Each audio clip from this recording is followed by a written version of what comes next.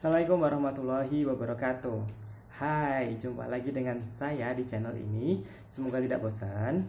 Kali ini saya akan bersama teman Menjelaskan bagaimana sih proses seleksi pegawai negeri sipil Dari mulai A sampai Z Sehingga kalian yang sedang atau mau mendaftar pegawai negeri sipil Itu lebih well prepare Lebih tahu bagaimana sih gambaran uh, seleksinya Dan Jangan lupa untuk like video ini, like ya sekarang, dan jangan lupa subscribe. Jangan lupa juga untuk share video ini karena video ini adalah video yang sangat penting. Share ke teman kalian, share ke anak-anak kalian mungkin yang sedang yang mau mendaftar, share ke teman-teman kalian, ke share ke saudara kalian, ke adik kakak kalian, share di grup FB, share di grup WA, semuanya di share agar teman-teman kalian bisa mendapatkan tips dan trik bagaimana masuk pegawai negeri sipil. Oke, tanpa berpanjang lebar lagi, kita mulai video ini. Intro.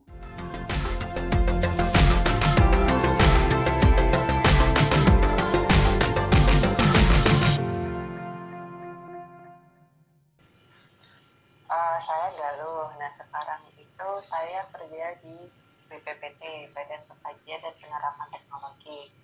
Nah, di situ saya masuk waktu itu daftar di posisinya perekayasa pertama. Jadi kalau bahasa kerennya sih engineer gitu, Mas.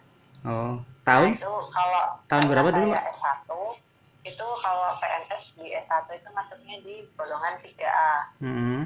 Nah, kalau S2 itu di 3B. Kebetulan karena saya S1 masuknya di 3A. Tuh. Nah, sebelumnya S1 S1 di mana, Mbak? S1 di mana? Jurusan apa? Sebelumnya ini saya di jurusan Teknik Kimia. Jadi hmm. yang tahun lalu BPPT itu buka CPNS itu tuh untuk semuanya kebanyakan di sains. Hmm. Jadi untuk semua posisinya itu di perekayasa. Tuh. Oh gitu. Berarti tahun hmm. tahun berapa, Mbak? Uh, masuknya Februari 2018 tapi tesnya itu uh, Oktober 2017 2017 jadi setahun uh, bersama kayak yang sekarang. Hmm, kalau boleh tahu uh, berarti itu pakai sistem yang baru ya yang hampir sama dengan tahun sekarang ya harusnya ya? Ya ya sistem yang sama dengan yang sekarang. Oh boleh boleh ini tahap tahapannya seperti apa? Biar biar uh, mungkin teman-teman oh, subscriber ya. saya tahu gitu. Ya jadi sebenarnya uh, tiap instansi beda-beda ya.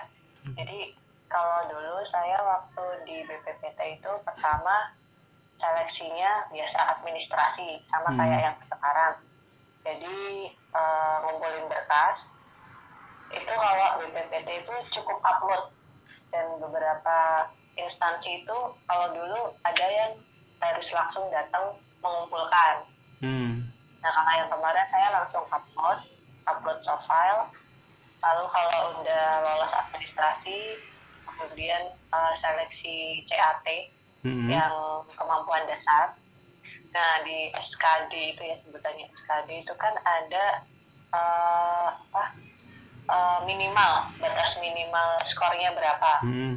itu harus di atasnya kan kalau nanti setelah kita tes CAT itu langsung keluar hasilnya tapi itu kita masih belum tahu apakah kita lolos apa enggak karena kan tergantung formasi yang kita daftar. Nah nanti setelah SKD itu ada pengumuman. Itu pengumumannya agak lama sih. Jadi Oktober itu pokoknya tes dari awal sampai akhir itu sekitar tiga bulan. Oktober November Desember baru masuk Februari. Hmm. jadi setelah SKD lalu ada proses gugur tuh mas. Iya ada proses gugur itu kalau lanjut lolos SKD lagi ke seleksi kompetensi bidang hmm. nah itu tesnya CAT juga oh CAT Lalu lagi setelah itu CAT lagi hmm. nah setelah itu hari berikutnya jadi misal hari berikutnya itu langsung tes psikologi Nah, tes psikologi itu nggak ada dari SKP tes psikologi itu nggak ada proses gugur. Oh gitu. Jadi sepaket gitu.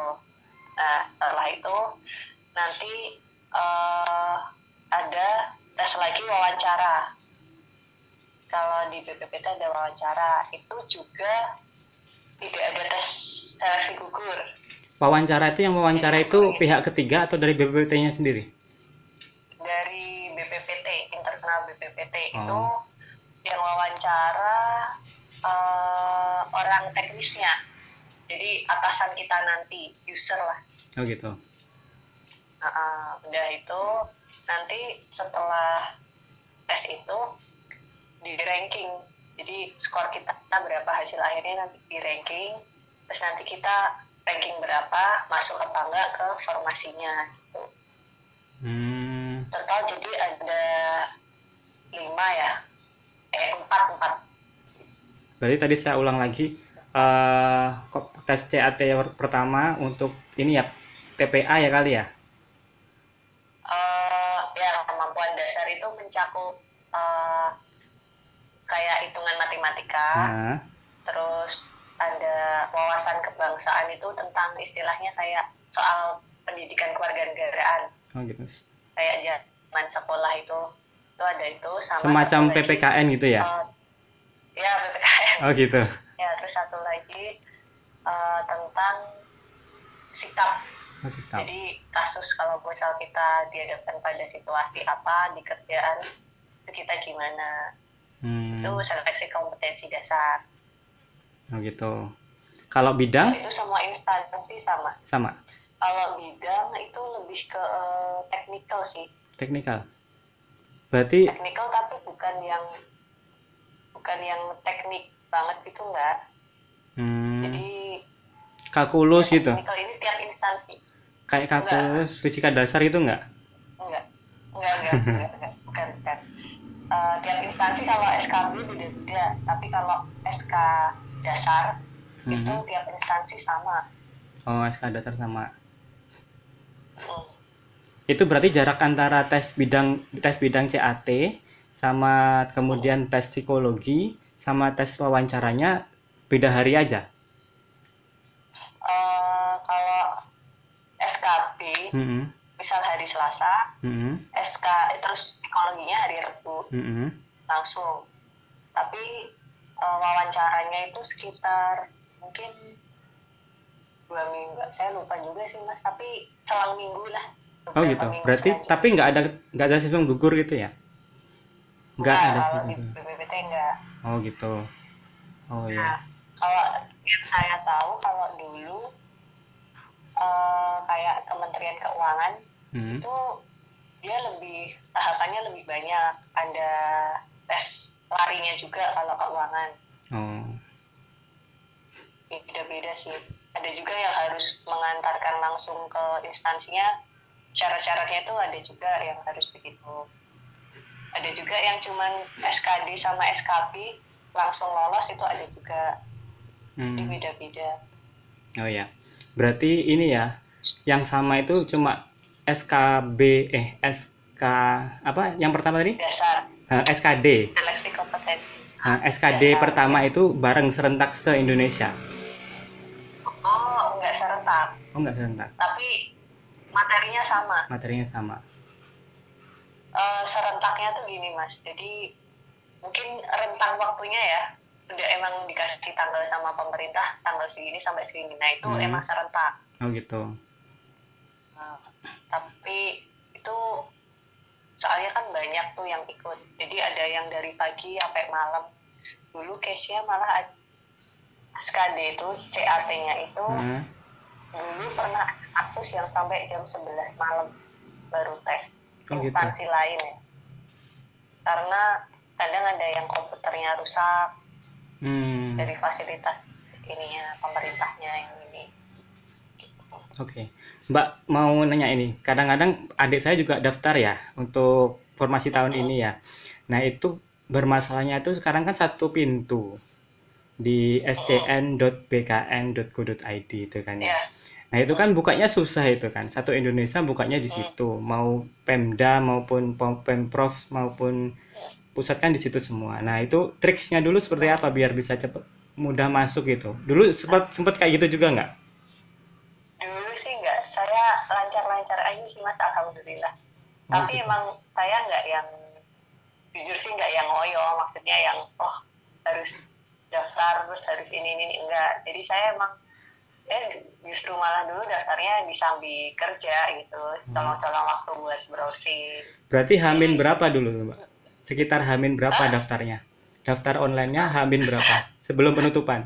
saya daftar online-nya Hamin satu Oh, gitu ya. Iya, iya, iya. Eh, tapi dulu saya kan nanya sempat nanya juga sama teman saya kan yang waktu mas kemarin ngasih eh, itu saya nanya juga sama teman saya itu dia juga tidak mengalami kesulitan waktu akses Tapi kalau tahun lalu tuh sebenarnya satu Indonesia sebanyak ini nggak sih? Sebanyak ini nggak? sama kalau dulu tuh ada dua periode yang Hmm. periode pertama itu cuma dua instansi yang periode kedua itu seluruh instansi tapi pemerintah daerahnya nggak ada tapi sama satu pintu juga Satu pintu juga. daftarnya memang di SSCN BKN itu Formasinya sebenarnya kalau boleh tahu lebih banyak tahun ini atau lebih banyak tahun kemarin ya? oh Kira-kira. saya kurang tahu sih mungkin banyakan yang sekarang karena sekarang banyak Pemda ya Hmm. Oh gitu. kalau dulu kebanyakan yang buka pusat Oke. mungkin banyak sekarang sih mas Kalau oke Mbak itu berarti memang sekarang rame ya jadinya agak memang agak tersendat. Saya aja Ya, bu- saya aja buka aja juga susah karena juga pengen tahu sih prosesnya seperti apa dan baru bisa itu kalau buka jam 12 malam. Oh gitu. Saya juga sempat nyoba sih yang yang sekarang itu. Memang waktu hari pertama itu waktu buka awal memang sempat error error error. Tapi kayaknya makin ke sini Makin waktu saya cuma cari lowongannya ya oh, itu kayaknya semakin ke sini semakin oke sih mas. Cuman dulu nggak ada fitur itu. Fitur lowongan itu ya? Dulu ya itu itu berdasarkan jurusan ya. Ah, ah, dulu nggak ada dulu. Ya, saya juga mau curhat juga nih. Jadi kalau saya kan tadi kelautan ya, kemarin sempat nggak mau jadi PNS itu karena formasinya tuh susah dapatnya karena masing-masing kan per, per departemen kan susah kita nyari teknik kelautan gitu kan. Kalau teknik kimia kan banyak.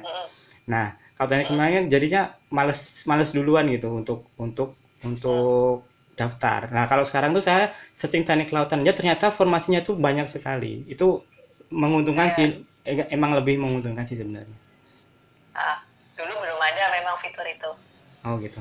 Oke Mbak, dari segi, dari segi Iya, pember suka. dari segi pemberkasan lah, pemberkasan di awal gitu kan. Saya lihat tuh udah nggak ada lagi ya SKCK surat keterangan berbadan sehat itu udah nggak ada lagi ya sepertinya. Nah, saya itu dulu seingat saya kalau saya dulu waktu udah keterima, Mas. Oh waktu udah terima. Ah, waktu udah keterima itu baru mengirimkan eh baru memberikan langsung. Tapi waktu awal upload itu belum ada. Hmm gitu. Sekarang belum pakai ya. Nggak ada sekarang. Makanya saya tanya. Oh, yang saya tahu sekarang itu ada itu akredit surat akreditasi dari Ban PT. Kalau yang swasta, ya. Oh, kalau yang swasta. Kayaknya saya lihat kemarin itu kalau yang swasta. Jadinya kalau yang negeri itu Oh. udah enggak kayaknya.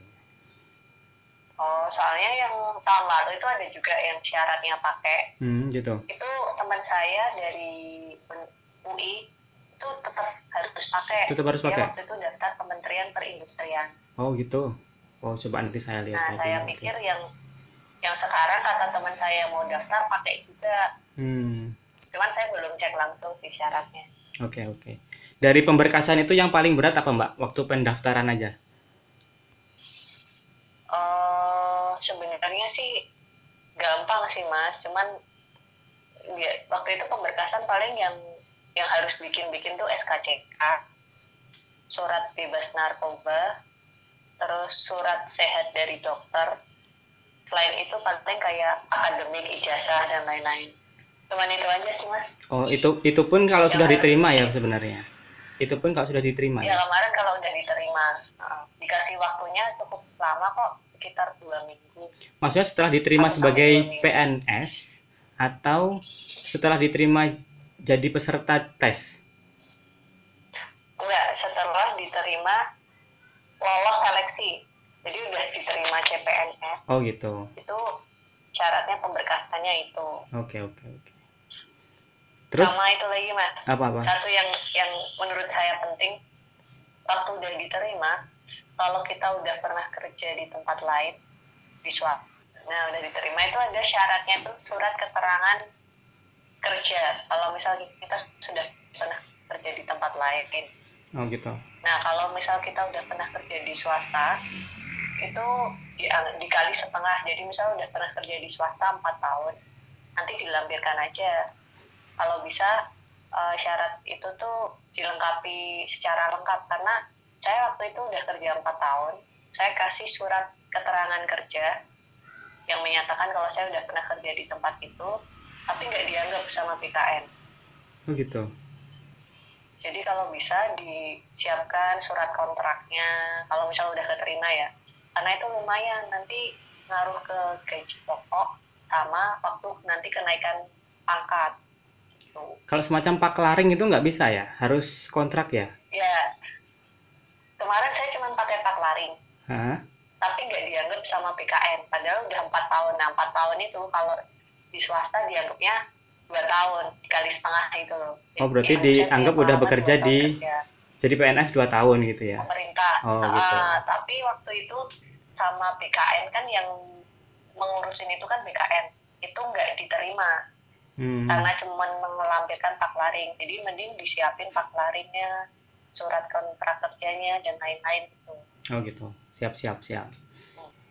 pengumuman diterima itu lewat apa mbak biasanya?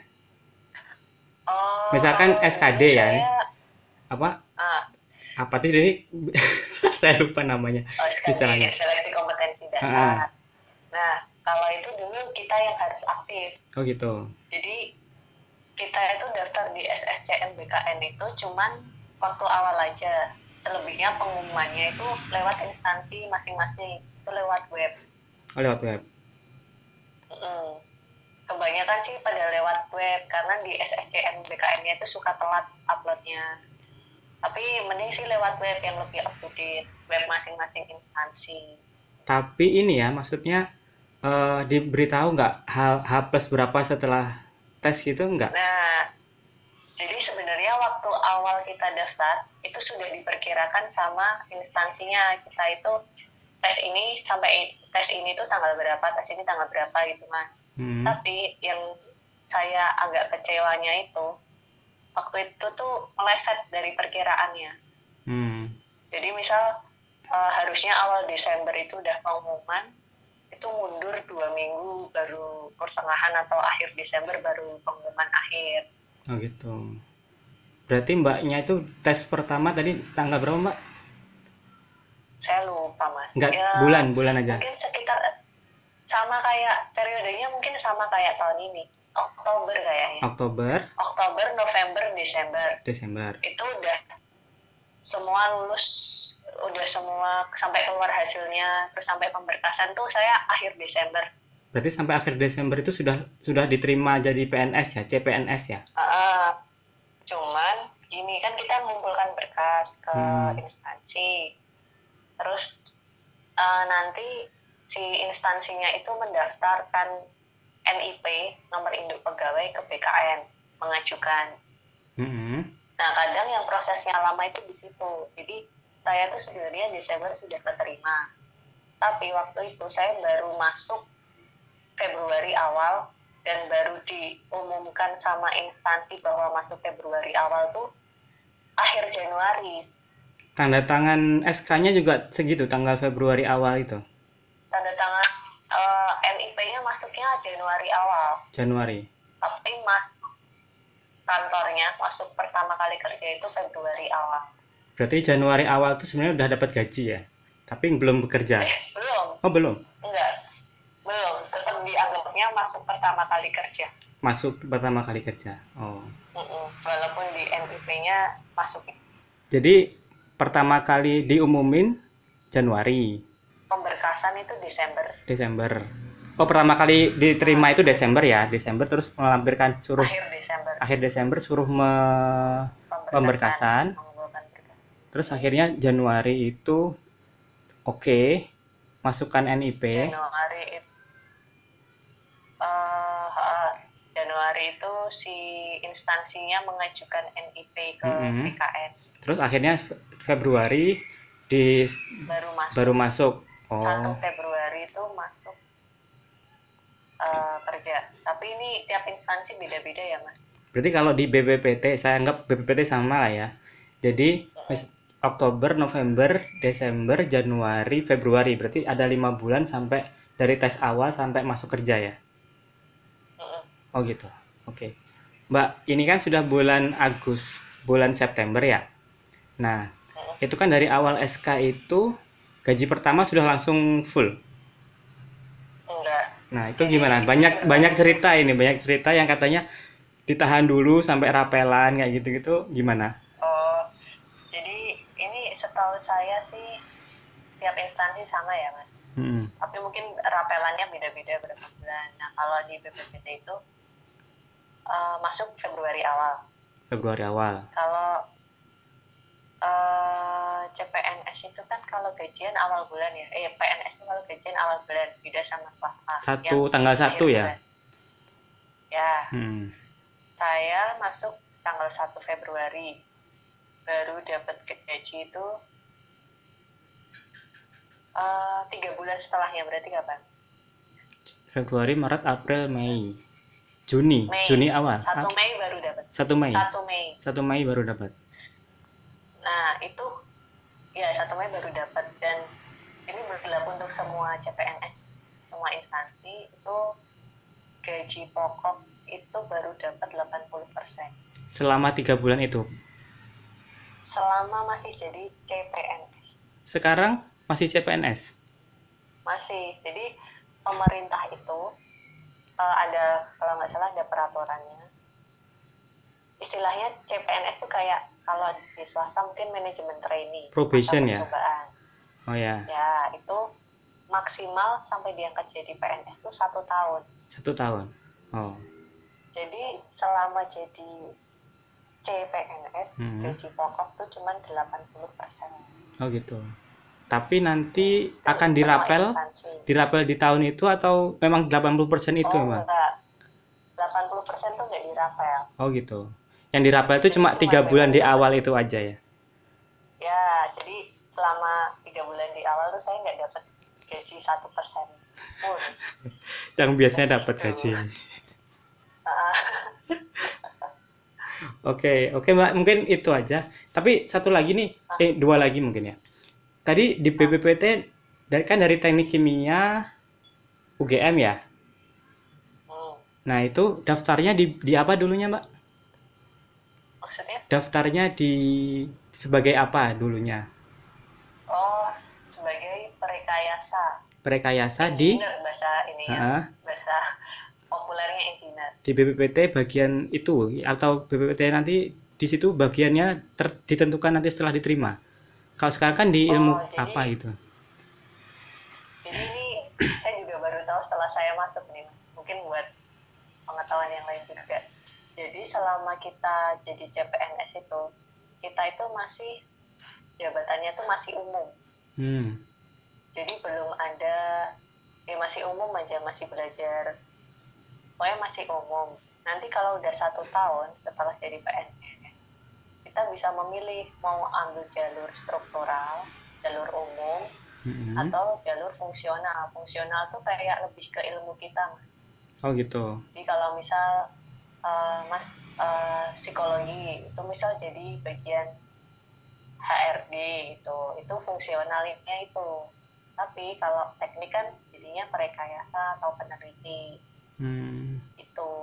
Jadi kalau sekarang masih umum, belum ada jabatan teknisnya apa. Cuman sebenarnya kerjaannya sudah menjurus ke itu perekayasa. Walaupun sebenarnya dulu daftarnya itu sebagai perekayasa ya. Heeh, tapi itu nanti satu tahun setelah jadi PNS baru bisa mengambil jabatan itu. Oh gitu. Tapi nggak harus jabatan Nah, itu juga sebenarnya Mbak. Tapi nggak harus jabatan itu juga. Kenapa? Setelah setahun tuh sebenarnya bisa, Bisa. milih jabatan yang lain sebenarnya. Yang membedakan itu kalau kita jabatannya mengambil fungsional, kita bisa mengambil jalur cepat. Jadi dua tahun bisa naik pangkat. Oh gitu. Tapi kalau kita jabatannya umum, itu kita bisa naik pangkat secara otomatis tuh empat tahun sekali. Oh. tapi kalau fungsional kita ambil fungsional kita bisa naik maksimal tuh dua tahun sekali bisa naik kalau kita rajin oh gitu. Tapi kalau kita sudah mengambil jabatan fungsional dan kita malas tidak mengumpulkan sesuai dengan posisinya itu misal perekayasa bisa 8 tahun nggak nggak nggak naik naik pangkat. Oh oke okay. gitu. Oke. Okay. terima kasih. Satu lagi tips trik untuk ini untuk calon yang akan melakukan ini melaksanakan tes. bukan tip, jurus jitu lah dulunya. Cuman PNS itu bukan masalah pinter-pinteran. Oh gitu? Jadi menurut saya itu itu masalah keberuntungan juga. Jadi yang penting kita usaha. Kalau misal uh, mau menghadapi CAT ya belajar belajar semampunya lah. Jangan lupa yang pertama sih berdoa sama minta restu sama orang tua sih. Oh gitu oke okay. nice nice advice. iya. Baik mbak terima kasih atas uh, wawancaranya hari ini. Semoga bisa mungkin ada kalau ada yang nonton bisa menginspirasi. Dan kalaupun ada yang lolos jadi amal jariah mungkin ya Amin. ya baik. Terima kasih. Assalamualaikum warahmatullahi wabarakatuh